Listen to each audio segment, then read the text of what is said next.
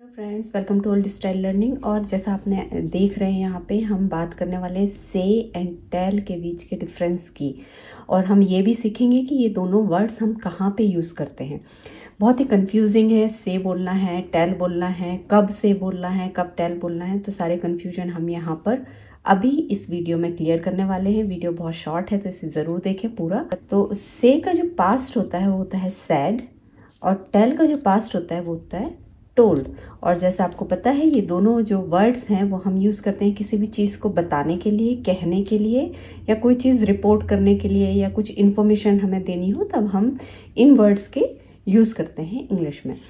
आ, इन words को use करने की कंडीशन क्या क्या है वो मैं आपके बताती हूँ। जैसे कि टेल है टेल को हम कब यूज़ करते हैं? हम टेल को यूज़ करते हैं थ्री कंडीशंस में। पहला जब आपको किसी को कोई इन्फॉर्मेशन देनी है या किसी से कोई इन्फॉर्मेशन लेनी है तब आप टेल का यूज़ करेंगे।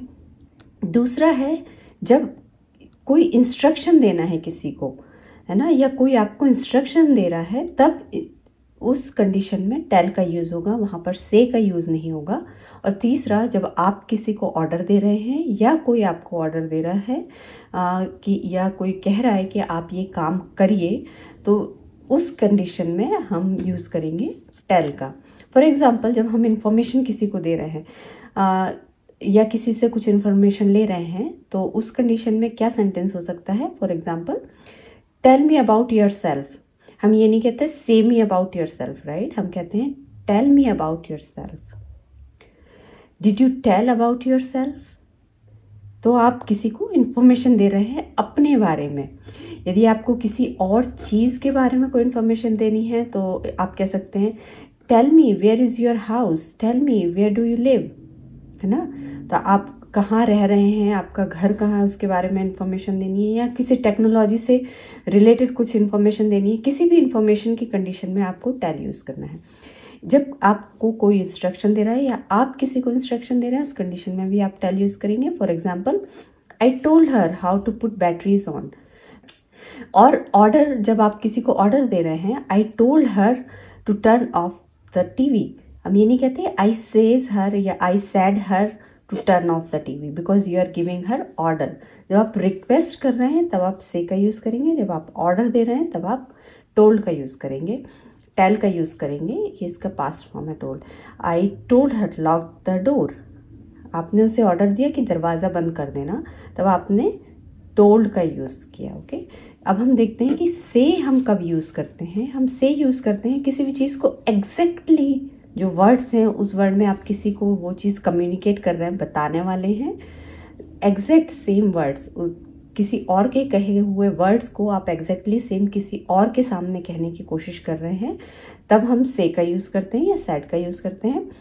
या कोई कोट किसी भी बुक का बिग पर्सन ने यदि कोई कोट दिया है, आप उस कोट को बोलना बोल रहे हैं तो एज इट इज़ जब आप बोल रहे हैं, उस कोट में आपने कोई चेंज नहीं किया तो आप उसमें यूज़ करेंगे से या सेट का। और एक बात आपको याद रखनी है कि जब भी आप, जब एग्जैक्ट वर्ड्स में आप किसी के बारे में बता रहे हैं कोई को एग्जैक्ट कोट यूज़ कर रहे हैं तो आपको कोटेशन मार्क्स यूज़ करने हैं। उस एग्जैक्ट वर्ड एग्जैक्ट वर्ड वाले सेंटेंस के बीच में आप के स्टार्टिंग और एंड में आपको कोटेशन मार्क्स यूज़ करने हैं ओके जैसे this is mine she said उसने कहा, ये मेरा है। This pen is mine I said मैंने कहा, ये पेन मेरा है। ठीक है? तो ये मेरे वर्ड्स हैं। ये मेरे वर्ड्स मैं किसी और के सामने कह रही हूँ, या मैं एग्जैक्टली exactly उन वर्ड्स को बता रही हूँ, या मैंने किसी और से ये चीज़ कही, और मैं अब थर्ड पर्सन को बता रही हूँ कि मैंने वहाँ क्या कहा था। फिर यूज़ होता है से का जो यूज़ होता है, वो किसी एक्सप्रेशन को जो ओपिनियन होता है, आप, आपका जो भी ओपिनियन है, उस ओपिनियन को बताने के लिए आप से का यूज़ करते हैं। तो कोई भी ओपिनियन को एक्सप्रेस करने के लिए आप से का यूज़ करते हैं। जैसे I would say that is nice place ये आपका ओपिनियन है कि वो बहुत अच्छी जगह जगह है। ये आपने ऑब्ज़र्व किया कि वो जगह बहुत अच्छी है। ज़रूरी नहीं है कि हर किसी को वो पसंद आए, पर ये मेरा ऑब्जर्वेशन है कि वो जगह बहुत अच्छी है। I would say that's a nice place I would say that's a nice brand I would say you can go there ये मेरे ओपिनियन है, मेरी सलाह है और मेरे विचार हैं। तो इनको मैं एज इट इज़ इनके साथ में मैं कोटेशन मार्क्स यूज़ नहीं करूँगी क्योंकि ये मैंने पहले नहीं कहा है। ये मैंने ओपिनियन आपके सामने अभी रखा है। कोटेशन मार्क्स का यूज़ कब करते हैं? जो ऑलरेडी कही हुई बात को जब आप एग्जैक्टली exactly रिपीट कर रहे हैं तो तब आप कोटेशन मार्क्स का यूज़ करें से का यूज़ हम कब करते हैं? जो हमारी नेक्स्ट कंडीशन है, हमने दो चीज़ें देखी। पहला तो जब आप एग्जैक्ट कोई कोट आप बोल रहे हैं, तब यूज़ करते हैं। और दूसरा, जब आप अपना ओपिनियन दे रहे हैं, तब आप से का यूज़ करते हैं। पर आप उसको किस तरीके से यूज़ करते हैं, किन कंडीशंस में यूज़ करते हैं, ये मैं आपको बताती हूँ। से का यूज़ करते हैं, जब आप कोई बात शेयर कर रहे हैं, कोई आइडिया शेयर कर रहे हैं, किसी की कही हुई बात को शेयर कर रहे हैं, पर आप किससे कह रहे हैं, ये आप मेंशन नहीं करते उस बात में ओके तो जैसे you don't mention whom you share the idea आपने किसके साथ में ये आइडिया क्या बात है या जो भी कोट है वो आपने शेयर किया, आप वहाँ पे उस व्यक्ति को, के बारे में कुछ भी नहीं कह रहे हैं। जैसे John said he likes cake इसमें जनरली कह दिया है जॉन ने कहा कि उसे केक पसंद है। उसने किससे कहा? ये यहाँ पे हमने मेंशन नहीं किया पर जब आप टेल का यूज़ करते हैं, तब आप मेंशन करते हैं कि जो बात कही गई है, वो किसके सामने कही गई है किससे कही गई है ठीक है? तो जॉन टोल्ड मी यहाँ पे क्या हो गया? वो मुझे बता रहा है John told me he likes cake. John ने मुझसे कहा उसे केक पसंद है। से से में क्या था? John said he likes cake. कि उसने किसी को बता दिया जॉन ने किसी से कहा किससे कहा ये कंफर्म नहीं है पर जॉन ने कहा सबने सुना जॉन ने कहा है कि उसे केक पसंद है, पर किससे कहा ये कंफर्म नहीं है। पर यहाँ पर जॉन मुझे कह रहा है, यहाँ पर जॉन किसी और पर्सन को भी कह सकता है। John told Ram he likes cake और John told someone he likes cake ठीक है? तो हम जब टोल्ड का टैल का यूज़ करते हैं तो हम मेंशन करते हैं कि हमने किससे कहा। जब हम से का यूज़ करते हैं तो हम मेंशन नहीं करते कि हमने किससे कहा। सेकंड है जब से का यूज़ करते हैं तो हम टू जब हम यदि मेंशन कर रहे हैं इस पर्टिकुलर व्यक्ति के बारे में कि हम किससे बात कर रहे हैं तो हम टू का यूज़ करेंगे, ठीक है?